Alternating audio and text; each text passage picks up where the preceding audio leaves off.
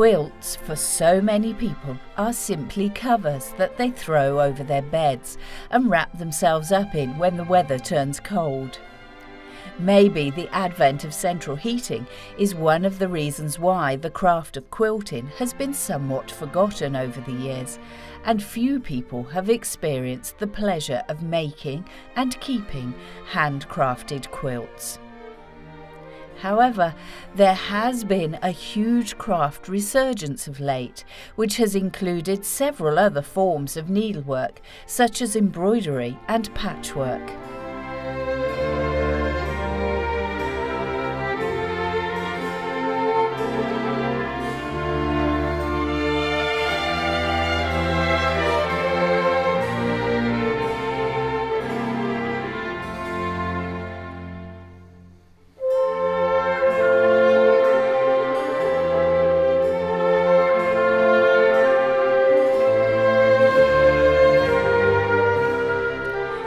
During this surge in popularity, many people have started to experience the joy of quilting, which is so satisfying and can even prove to be rather pleasantly addictive.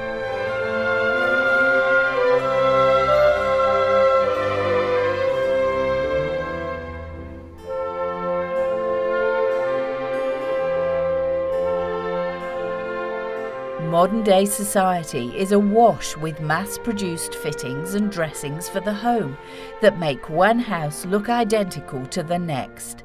But with crafts such as quilting, you can now surround yourself with beautiful original conversation pieces that will always get your visitors talking.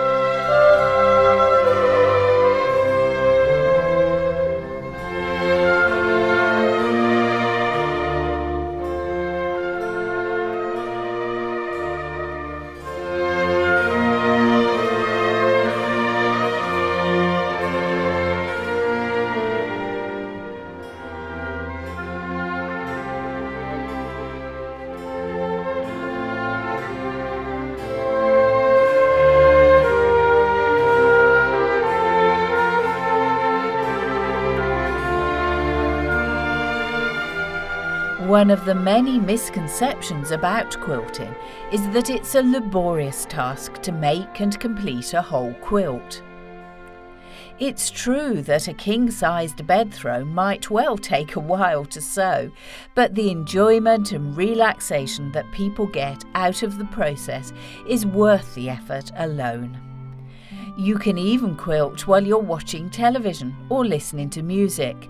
And if you use a design that calls for individual blocks, you can take one with you to stitch wherever you go. Consequently, if you use your time wisely, your quilt will begin to take shape and grow in no time at all. And of course, you can always start with something smaller, like a cushion.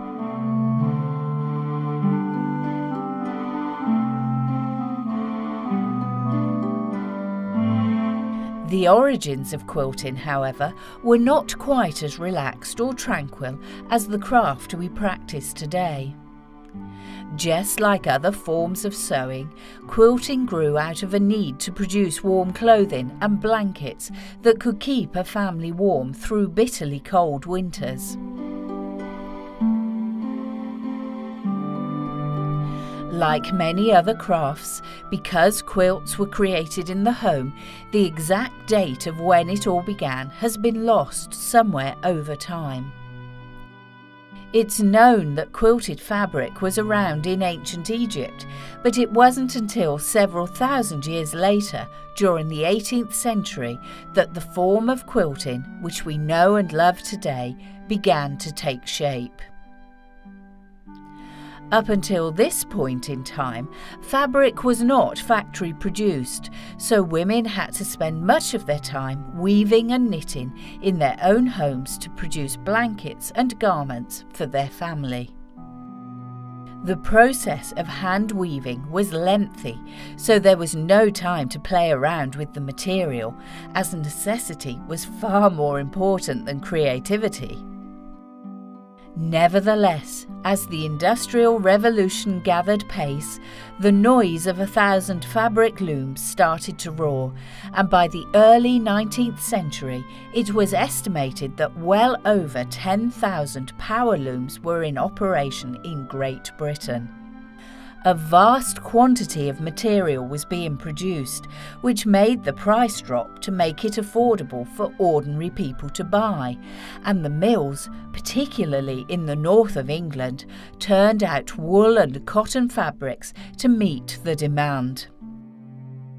For many people, the arduous task of weaving was no longer required, and the homemakers of the time were starting to become more creative with their quilt production methods, including patchwork, and the art of quilting became even more popular.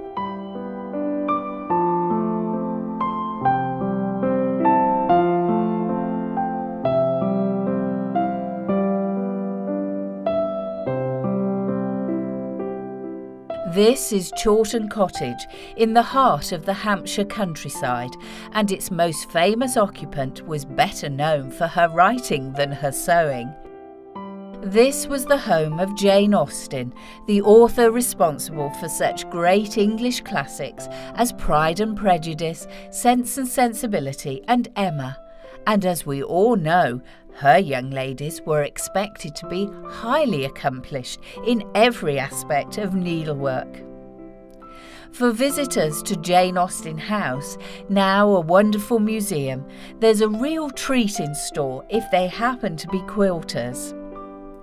In the great lady's modest bedroom, a beautiful hand stitched quilt hangs upon the wall, made by Jane and her sister Cassandra. We know from their letters that the pair were always on the lookout for patches for their quilt, and like so many quilts, it really is a very precious piece of living history.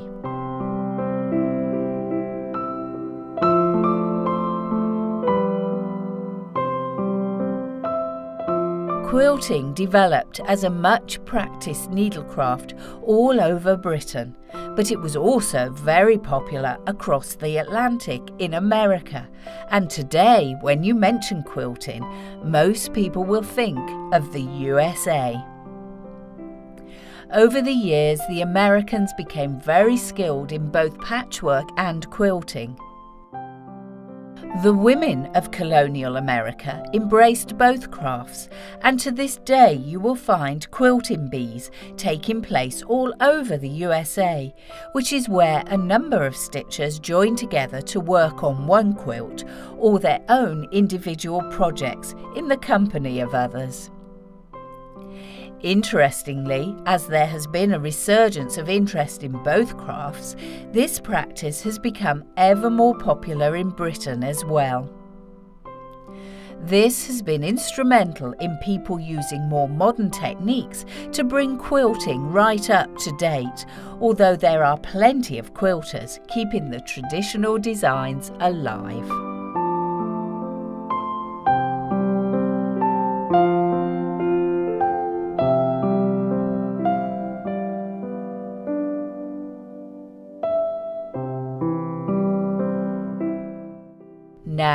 If the sight of these beautiful quilts fills you with trepidation, fear not. It's not as complicated as it looks. Even though a quilt is one complete item, it's actually made out of three separate elements, and this is why they are actually so warm. Today, mountaineers will use light layers to build up for warmth, and this is precisely how a quilt works. Looking at a finished quilt, you'll see two sections, the top and the bottom, and be able to feel the third, the padding. The top is generally the most decorative part of the quilt, as it's the section that everyone will see and is usually covered with all sorts of stitching patterns and can either be one complete piece of material or made up of lots of smaller pieces of patchwork.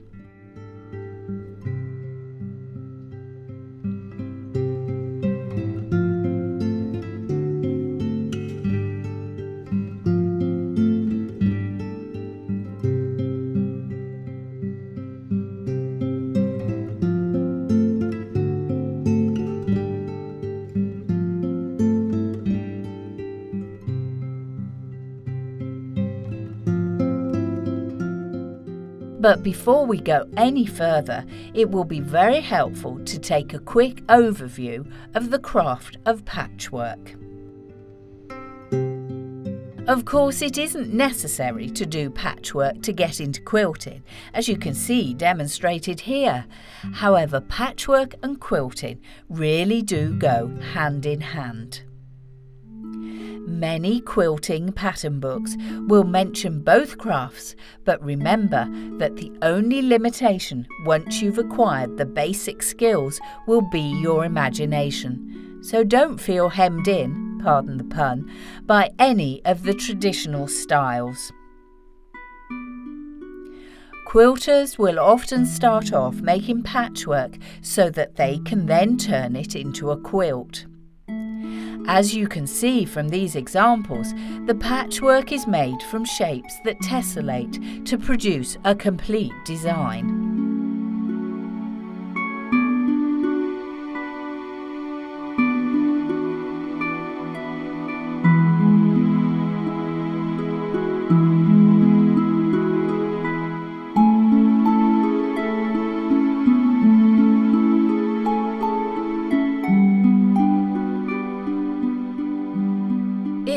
Always best to design your pattern on some squared paper first, so that you can be sure your finished creation will fit together. And of course, you can also pick colours that will work well together. Good patchwork is just as much about colour coordination as it is about perfectly fitting shapes.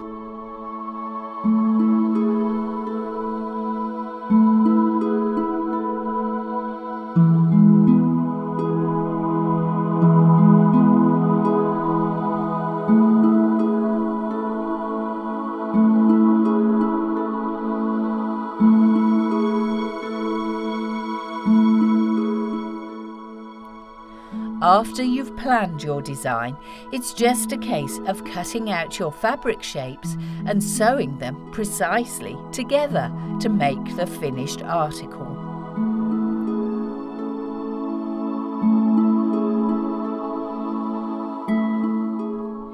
These hexagon pieces of patchwork have been made on accurately cut papers, which have then been overstitched together, and a lot of people start patchwork with hexagons as they fit together perfectly, and you can make as many seven hexagon flowers as you like, but just one at a time, which will make even a large piece of patchwork very easy to handle.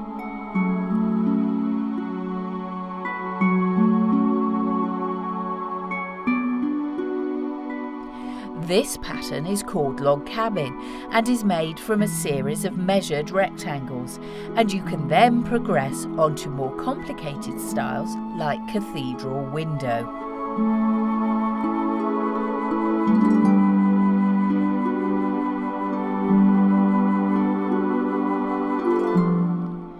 But you don't have to do any of these traditional patterns. This is called crazy patchwork and is self-explanatory, created at random for a cushion cover that is now ready to be quilted. There is a programme in this series called An Introduction to Patchwork, which will give you a lot more information about getting started. And once you've got the hang of it, you'll be designing pieces for quilting in no time at all.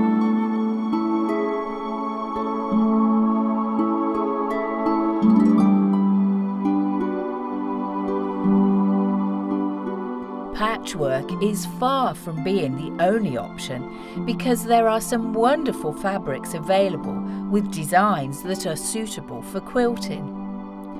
Also, many stitchers like to use applique as well, which basically means cutting out a complete design and stitching it onto a backing fabric.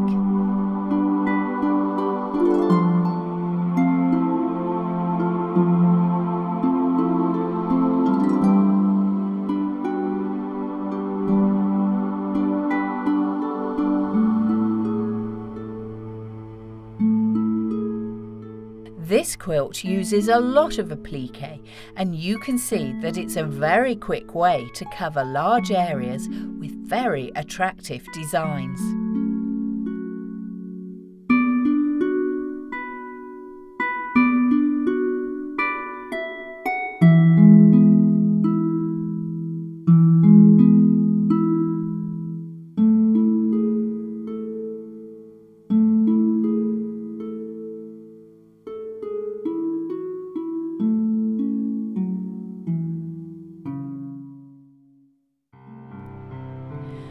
This will give you lots of food for thought when it comes to selecting the top layer of your piece of quilting. And don't forget, you can always use a plain fabric if you want the quilting to be the main feature.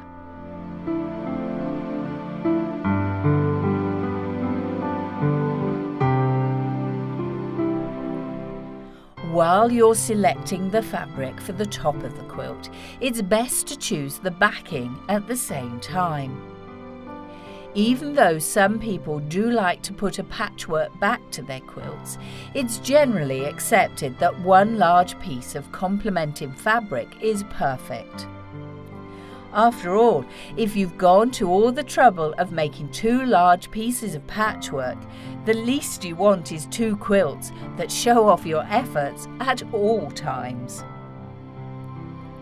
Also, do remember that you might want to have this layer next to your skin and therefore it's better to have something soft and smooth rather than patchwork which can be a bit scratchy in texture. The process of quilting, very simply put, is the craft of sewing these two layers together with a further layer of padding in between them. And again, it's a good idea to buy this at the same time as you're sorting out your fabrics.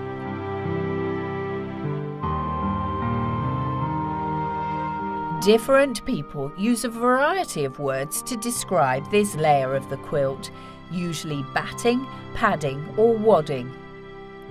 There are a range of weights of wadding that you can buy from your local craft shop and the prices will reflect the quality.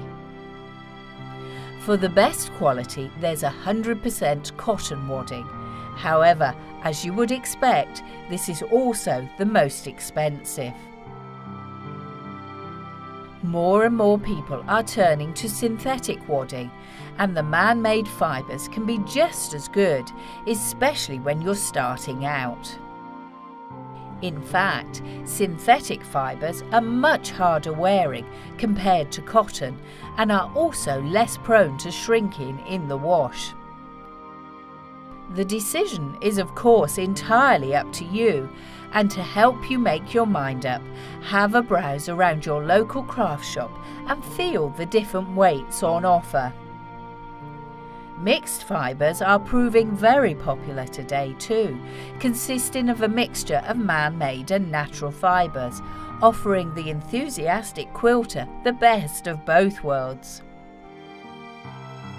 Fibre mixtures are also in the middle price range, which would be helpful if you want to make a larger sized quilt.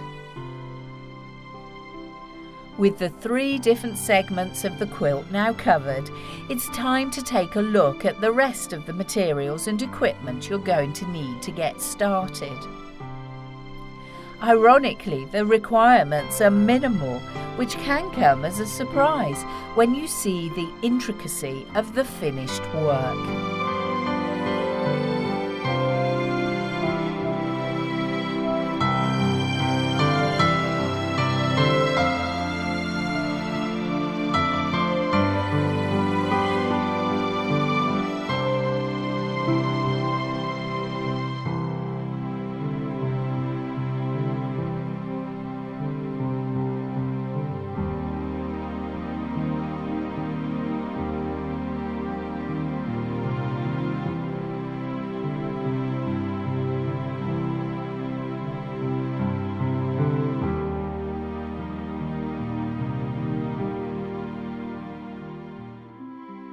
Although it's possible to have a go at quilting with just about any good sewing needle, you will do a much better job with specialist quilting needles, or betweens as they're sometimes called. Quilting needles are very sharp as they need to penetrate three layers of material and will usually be slightly thicker than average. Try to buy a good selection because you'll need different sizes depending on the thickness of your thread and material. Along with your quilting needle, you'll most probably find a number of glass-tipped pins very handy to temporarily secure your layers together. The only reason that we suggest glass-tipped pins is because they're easier to spot in the material due to their bright tips. If you can only find ordinary pins, then these are absolutely fine to use. But do remember to carefully search all over your finished quilt for any pins, as you really don't want to be pricking yourself with one as you wrap yourself up on a chilly evening. The thread that you decide to use will vary depending on what kind of quilt you're making. Some quilts will look all the better for having brightly coloured thick threads that contrast with the backing material, and other quilts look far better when the thread blends into the background. You'll probably want to buy a selection of quilting threads to keep in your craft box to get you started, and then you can add more as and when they're needed. Way back in history, patchwork and quilting were excellent techniques for reusing part-worn fabric, and naturally these pieces of material had been washed many times. Now some stitchers today, using new materials, prefer to wash everything before they begin. This is where planning well can really help you because if you're making patchwork for a quilting project, try to make sure that you use fabric that will react similarly to washing. Also, if you use all different types of fabric, then the finished patchwork will not lay flat and can also look very haphazard.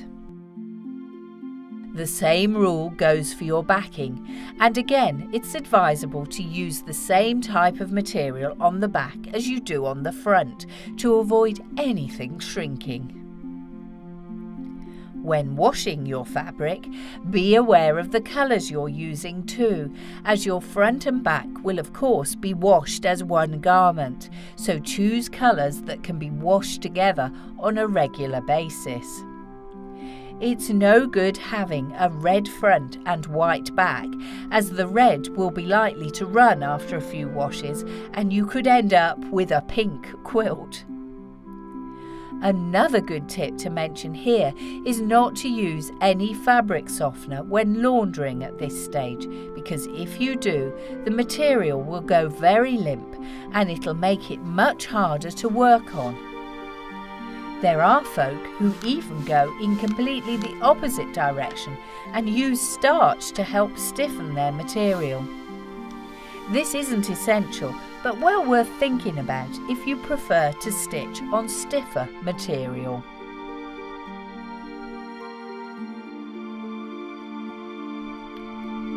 You'll now have all the essentials you need to start your quilting project. But if you've never done any craft work before, do get yourself some good scissors to help you get the best results. One pair for fabric, one pair for paper, and a small pair of embroidery scissors for fine finishing. Make sure you've also got something to keep your ongoing project in, where it won't get dirty, as these quilts can take a long time to complete.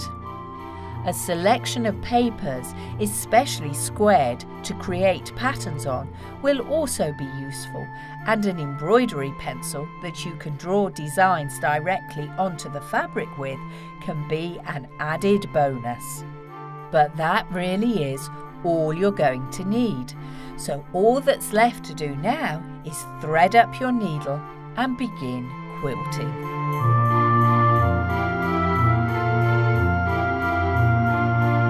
There are three methods generally used when making quilts. Basically, hand quilting, machine quilting and tying. Each method is pretty self-explanatory and they can all be very useful depending upon what type of project you are undertaking.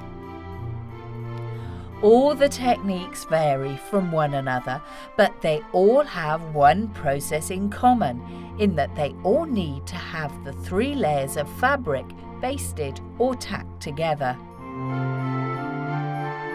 If you're an experienced stitcher, then you will already know how important this preparatory stage is but don't worry if not, it really is very simple and will save you hours of frustration in the long run. All we're talking about is quickly sewing the layers of material together to hold them precisely in place, basically so your quilting will end up exactly where you want it. Don't fret about how messy your basting looks, as once you've finished your quilting block, all the stitches will be removed anyway. Most people use a large running stitch in a contrasting colour to baste their fabric because it's very quick, yet secure and easy to remove when you've finished. Firstly, cut your fabric to your desired size and then cut the wadding so that it's fractionally smaller.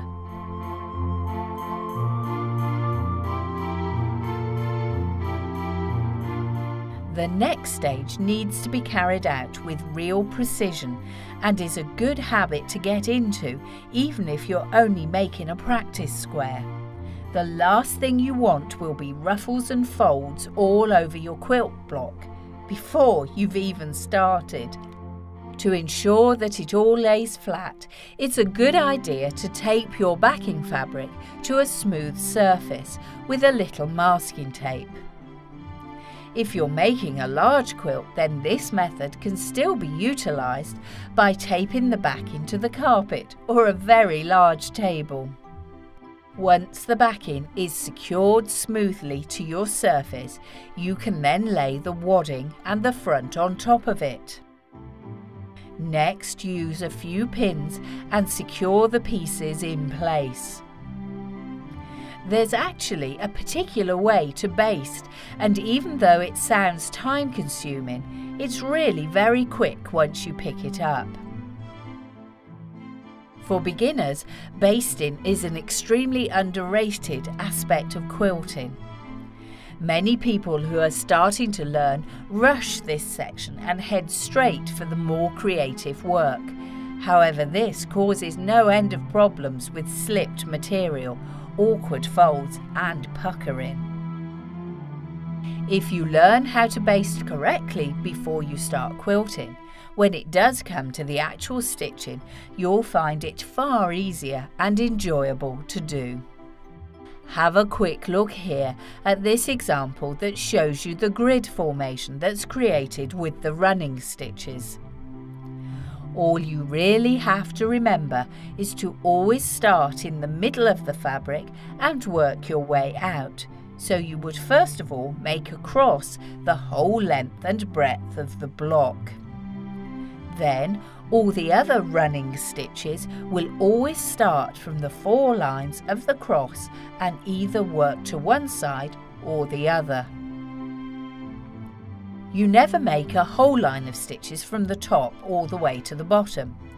If you always begin in the middle, it will further ensure the accuracy of your piece and more importantly, smooth out any folds.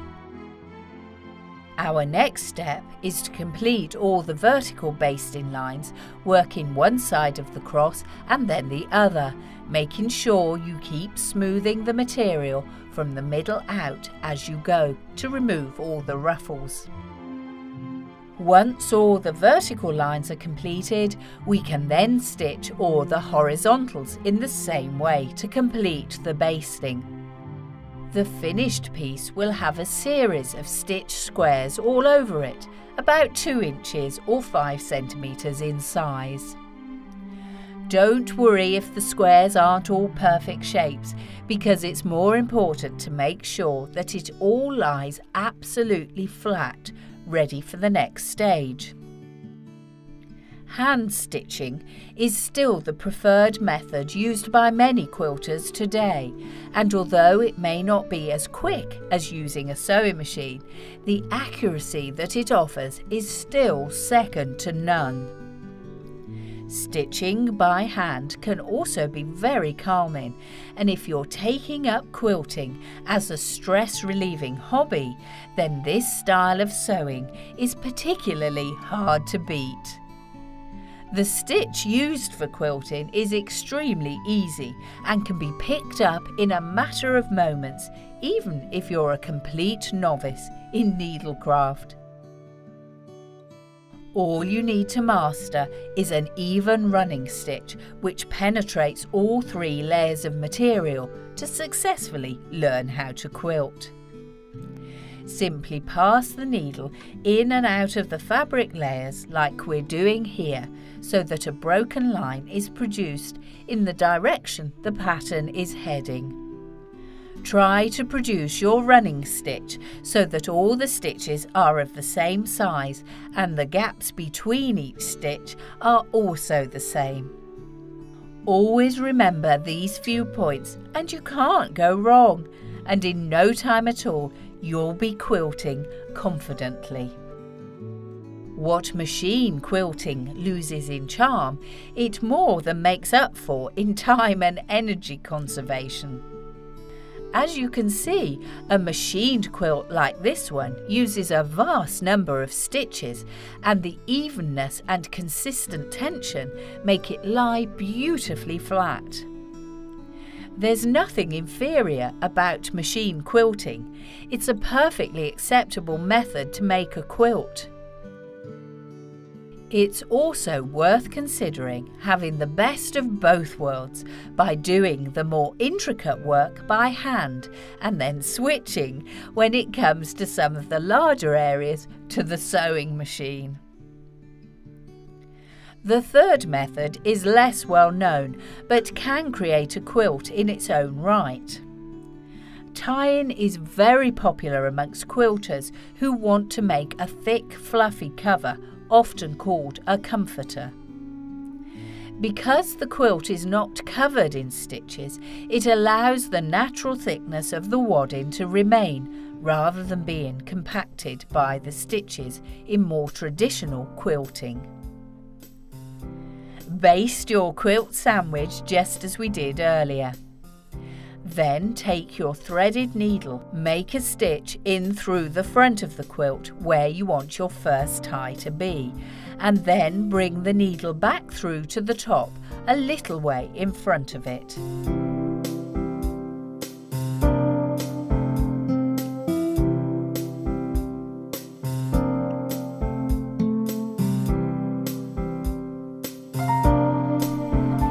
Don't want to cut the thread yet, it's usually much quicker just to insert the needle in a new spot in the position you want the next knot to be placed.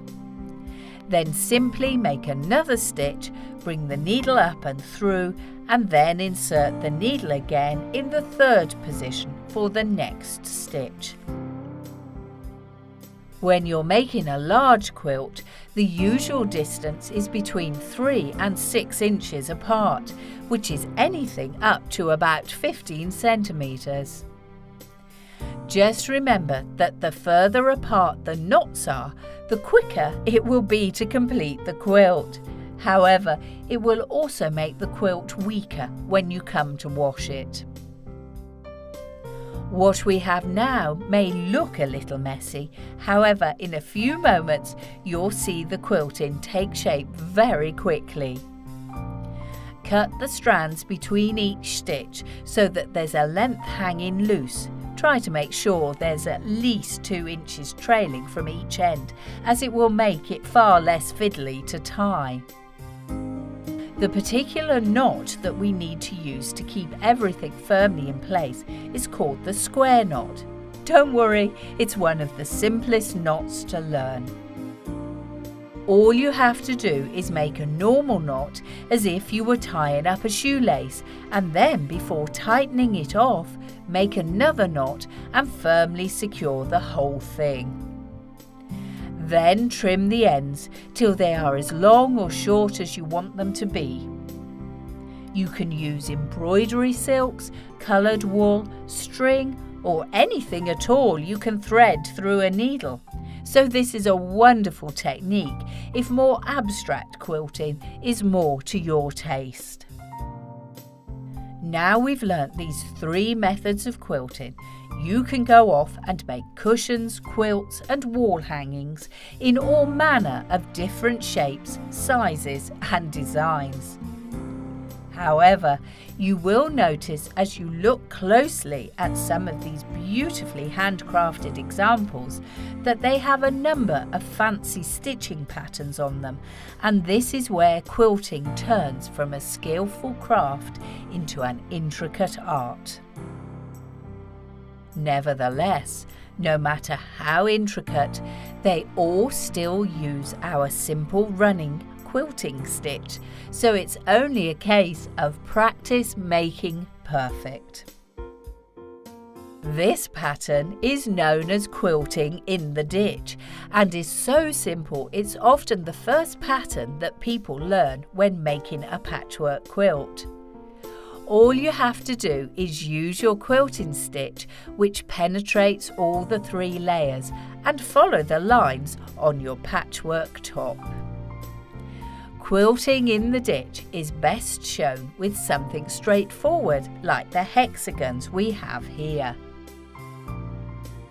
Many people use quilting in the ditch because it's very simple due to the fact that you're following the lines that are already there, so you can't really go wrong and it's almost invisible when complete, blending in with the join between the fabrics.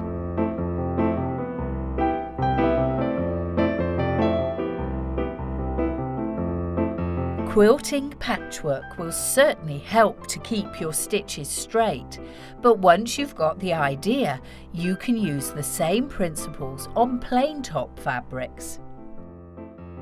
These patchwork squares are very easy to follow, but when you think about it, all you are doing is quilting a slightly more accurate grid than the one you basted in to hold your quilting together in the first place, and you can certainly do this on a plain top fabric. If it's easier, use a ruler to draw out your squares on the back of the block and then you can be sure of being accurate.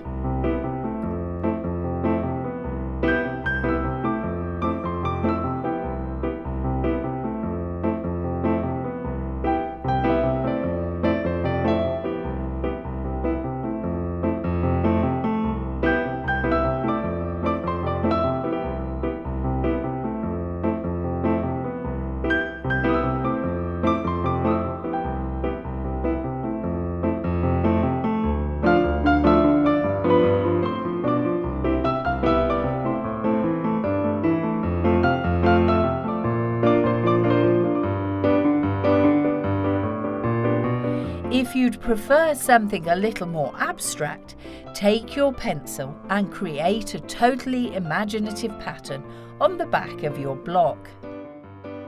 Wavy lines are fabulous, particularly if you use a silky top layer, and about the only advice to offer compositionally would be to never let the lines cross for a really free finish.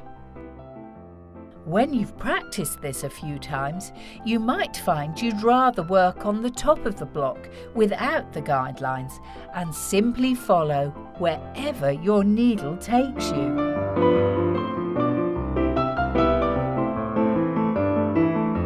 There will be occasions when you don't want to hide your quilting stitches, and our next quilting type is a wonderful example of one such time. Outline quilting will follow all the seams on the top layer and if you've used applique as a technique, it will really highlight your work. You'll soon discover the quilting patterns that suit you best, and many will allow you far more creativity as you progress, and you can really do as you please when you've got the hang of it. We'll now take a look at some examples of quilting and explain how they have been done.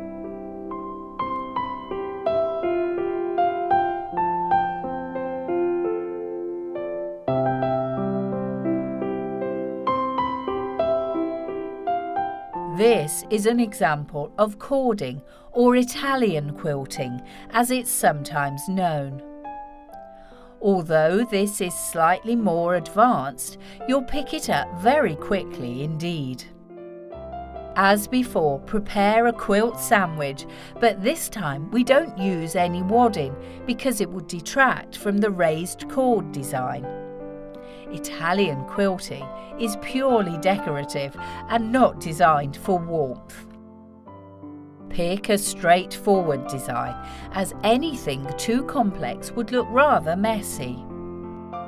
Have a look at this sample we have here. The design still has detail in it, but it's spaced out to create a neat and tidy pattern.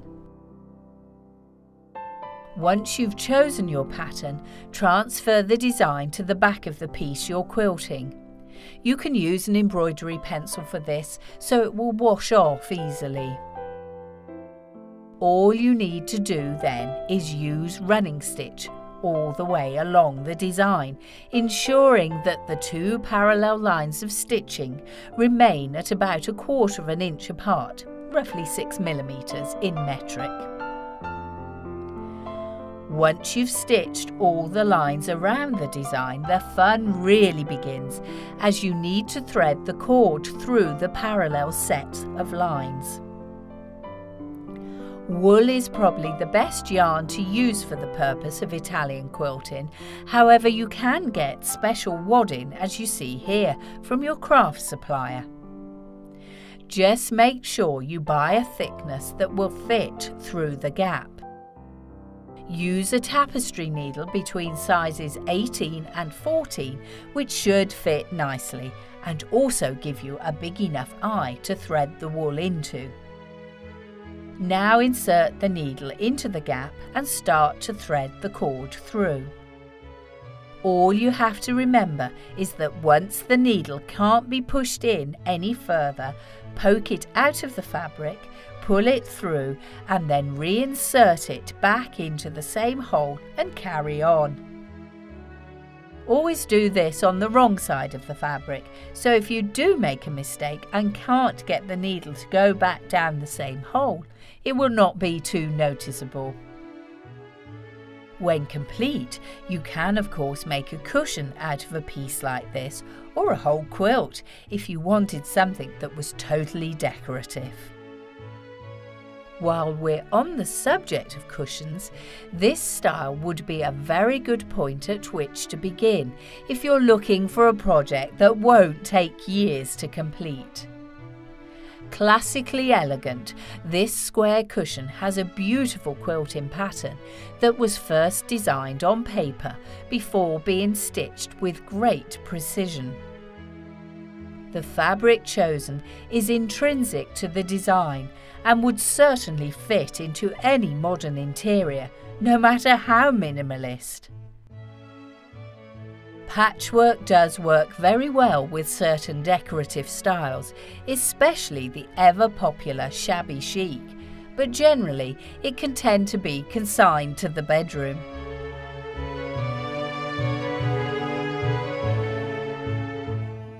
This cushion just shows how, if you give your imagination free rein, the results of quilting are anything but old fashioned.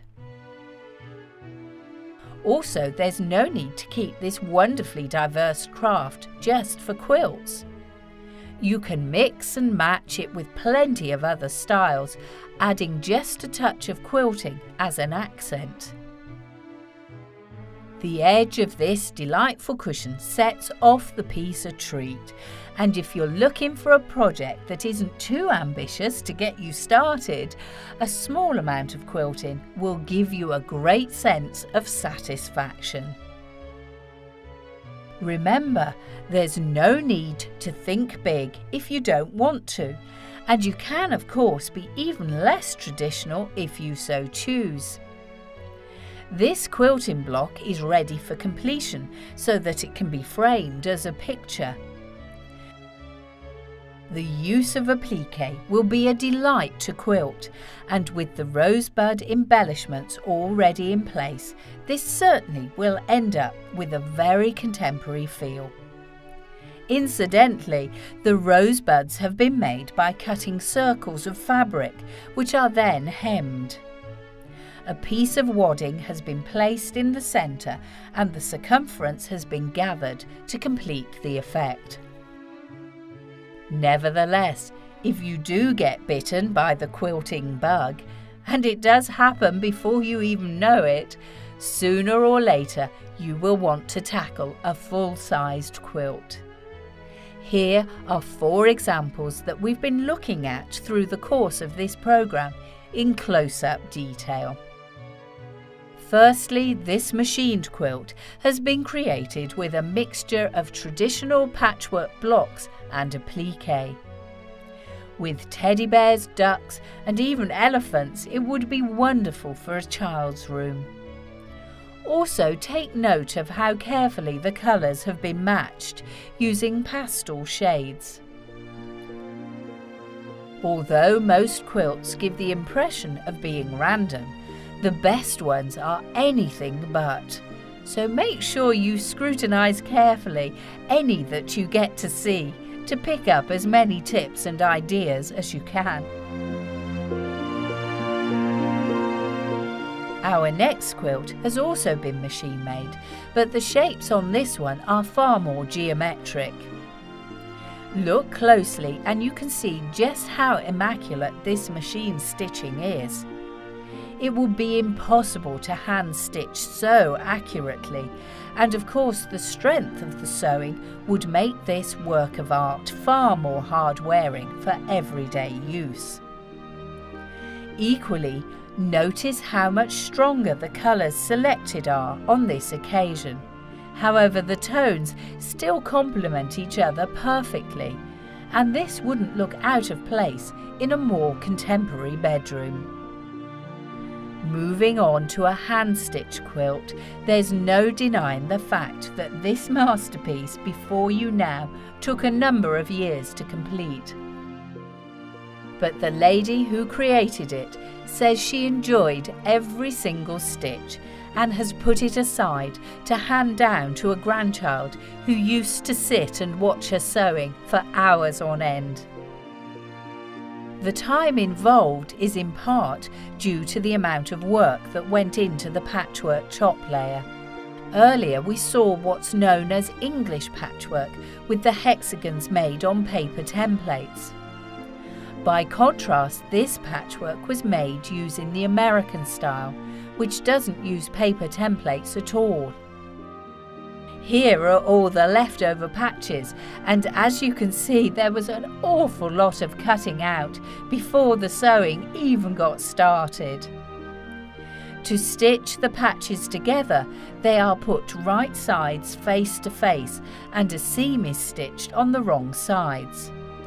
This gives a flawless finish when pressed out on the right side and makes quilting very easy indeed. This quilt also demonstrates how very effective it can be to leave the edge of the design plain for some freehand quilting and if you look closely you'll see patterns that echo the style of the entire piece. In fact, if you look at the back, you can see the stitches even more clearly, and they are just as neat as they are on the front. If this all seems just too daunting for words, remember that it was basted with a grid as demonstrated earlier on a much smaller scale and the patterns were simply drawn on the wrong side with an embroidery pencil and followed stitch by stitch. And naturally, because this quilt is all made of cotton, there was no problem at all washing it. And of course, the guidelines magically disappeared. It's also worth pointing out with this quilt what you need to do to tidy up and finish off your edges. Take a narrow strip of fabric and hem it over the edge as you would with bias binding. In fact, the edging is the only thing that has been done by machine on this quilt, which after all that fancy hand sewing must have been quite a relief. Sadly, our time looking at quilts is rapidly drawing to a close, but we've still got a few moments left to look in more detail at this remarkable quilting project, which is absolutely unique. The lady who made this quilt didn't want to use patchwork and opted for a plain top layer. A great deal of time and effort, nevertheless, still went into the design, and like every quilt you will ever see, has a story all its own to tell. Whether you paint, draw, write, or sew, the best works of art always come from a moment of inspiration and the magnificent cathedral dominating the West Country city of Gloucester triggered this quilt. All the stitching designs were taken from the cathedral, and using photographs she had taken, our quilter made her patterns completely from scratch, and you can see some of them here. The centre of the quilt is based on the design on an ancient font, and the edges reflect the shapes of the cathedral's beautiful windows.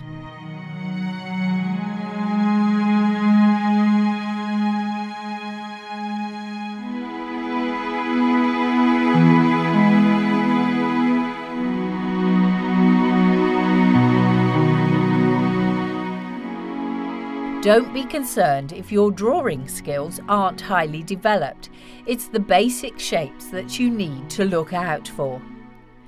Squared paper can be an absolute lifesaver as you can be really precise. And of course, if you're tackling something like an archway, it will be symmetrical.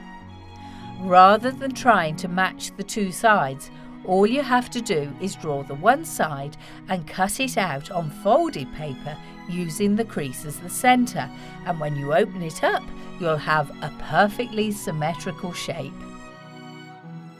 The overall effect is as lovely as the magnificent building that inspired it.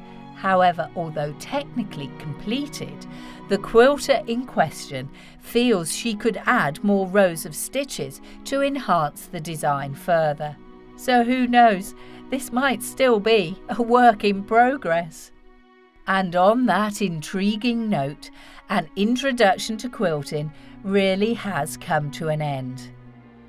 Hopefully, you'll be inspired to try this most traditional and practical of crafts for yourself. There is nothing that you've seen in this programme that couldn't be tackled with a little know how and plenty of practice. So the question has to be what are you waiting for? You can use quilting in so many forms, and we really have only scratched the surface of this immense topic. Once you've grasped the basics, you can use quilting to really enhance your soft furnishings. And of course, if you're fashion conscious, you can make bags and jackets that will not only look fantastic, but also be extremely practical as well. But most importantly of all, remember to start small, gain experience, and then get adventurous. And if it's at all possible, don't go it alone. Find out if there's a quilting group in your area and join with other like minded stitchers to really get the most out of this extremely popular craft and experience a pastime that will quickly become an intrinsic and precious part of your life.